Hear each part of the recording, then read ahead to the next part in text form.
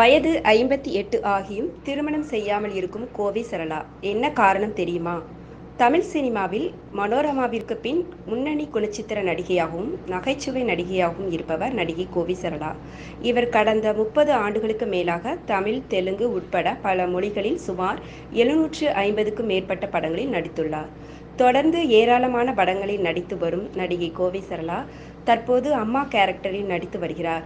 இப்படி திரையுற திரையுலகில் கலைக்கு வரும் கோவை சரளா ஐம்பத்தி எட்டு வயதாகியும் இதுவரை திருமணம் செய்து கொள்ளவில்லை. இந்நிலையில் இதற்கு என்ன காரணம் என்பது குறித்து தெரிய வந்துள்ளது. அதாவது கோவை சரளா தான் அவரது வீட்டிற்கு மூத்த மகளாம். அவருக்கு கீழ் நான்கு சகோதரிகள் ஒரு சகோதரர். நடிகை கோவை சரளா தனக்கு கீழ் பிறந்தவர்களுக்கு எல்லாம் திருமணம் செய்து வைத்துள்ளார். அதோடு அவரது பிள்ளைகளை படிக்க வைப்பதிலிருந்து சகலதையும் கோவை சரளா தான் பார்த்து வருகிறார். அதோடு ஆதரவற்றோருக்கான ஆசிரமங்களுக்கும் அவர்தான் உதவி செய்து வருகிறார். தன் வாழ்நாள் முழுக்க அடுத்தவருக்கு உதவி செய்வதுதான் நோக்கமாக கொண்டுள்ளதால் திருமணம் செய்து கொள்ளவில்லை என்ற கவலை தனக்கு இருந்ததே இல்லை என்று கோவை சரளா கூறியுள்ளார்.